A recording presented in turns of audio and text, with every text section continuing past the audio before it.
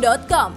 Islamic Fashion e-commerce yang didirikan pada 2011 ini menyediakan beragam produk terbaik karya desainer fashion muslimah Indonesia, mulai dari pakaian, kerudung, aksesoris, dan masih banyak lagi. Di Ajeng Lestari atau yang akrab disapa Ajeng adalah wanita muda di balik bisnis tersebut. Uh, saat itu masih belum terlalu banyak yang bermain di e-commerce fashion muslim apalagi gitu mungkin yang fashion biasa udah cukup banyak. Tapi kalau musim fashion saat itu masih belum terlalu banyak bahkan nggak ada waktu itu. Jadi uh, memang hijab yang bisa dibilang yang pertama untuk memulai dengan konsep yang seperti ini. Nah online yang paling efisien pastinya yang paling efektif juga. Nggak terlalu banyak cost yang harus dikeluarkan.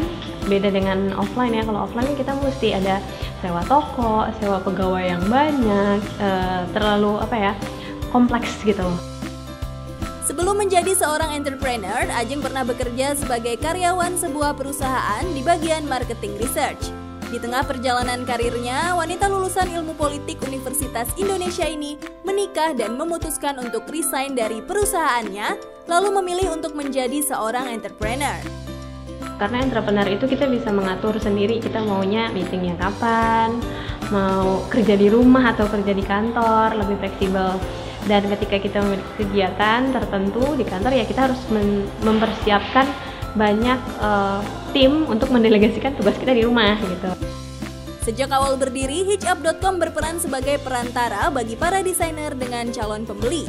Melalui Hitchup.com, para desainer dapat meningkatkan keuntungan dengan lebih efisien dan juga memudahkan calon pembeli untuk mencari beragam produk yang diinginkan dalam satu wadah.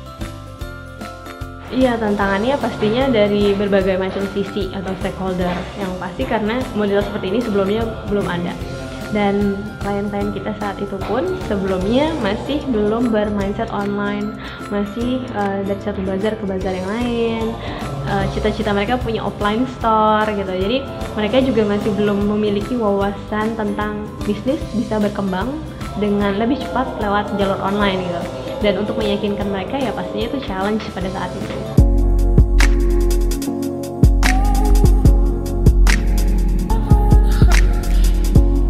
Di hari peluncurannya, hijab.com hanya mempunyai tiga karyawan dan berkantor di ruangan seluas 2 kali 3 meter saja. Jatuh bangun yang Ajeng lewati membuat ia banyak belajar ilmu baru untuk terus mengembangkan bisnisnya. Kini, karyawan Ajeng sudah berjumlah ratusan orang dengan customer yang berasal dari berbagai negara. Yang saat ini saya lihat, bisnis itu nggak sama kayak zaman dulu. Perlu ada adaptasi yang sangat-sangat cepat. Perlu kedinamisan dan pemahaman tim, terutama tim manajemen untuk cepat uh, merespon banyaknya perubahan. Kalau kita nggak cepat berubah, kita bakalan uh, tergilas oleh banyak challenge yang kita hadapi. Jadi memang sebagai entrepreneur kita harus berpikir bahkan kayak setiap hari Bisnis startup yang masih dipandang sebelah mata oleh kebanyakan orang justru dijadikan ajang sebagai cambuk motivasi bagi kesuksesan bisnisnya. Tidak hanya dari segi awareness atau marketing building, namun juga kesuksesan membangun fundamental bisnis yang kuat. Ya, banyak sih yang bilang dan uh, banyak juga penelitiannya uh, kayak hanya dua yang berhasil dari 10 dan lain-lain. Tapi kalau kita bercermin di negara-negara maju, kalau nggak banyak startup, nggak banyak juga entrepreneur, dan nggak banyak juga yang sukses.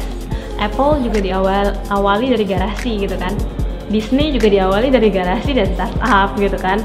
Banyak sekali brand-brand besar yang sekarang kita bisa kenal, kita kita gunakan yang awalnya dari garasi gitu loh. Meski tidak memiliki background pendidikan di bidang ilmu bisnis, wanita kelahiran tahun 1986 ini penuh percaya diri memulai bisnisnya dengan belajar dari beragam seminar dan media.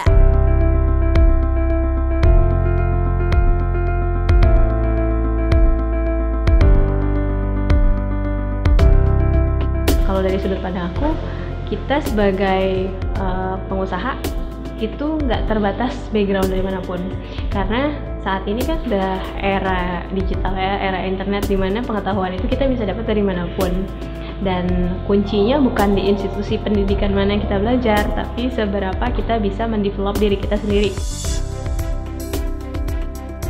Di usianya yang masih tergolong muda, Ajeng berhasil menginspirasi banyak orang untuk terus menggali dan mengembangkan passionnya dalam upaya membangun perekonomian negara. Kalau zaman dulu, oke okay, menyatukan Nusantara.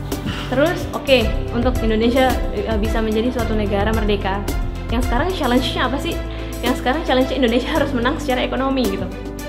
Harus bisa menjadi negara maju yang menyejahterakan bangsanya sendiri.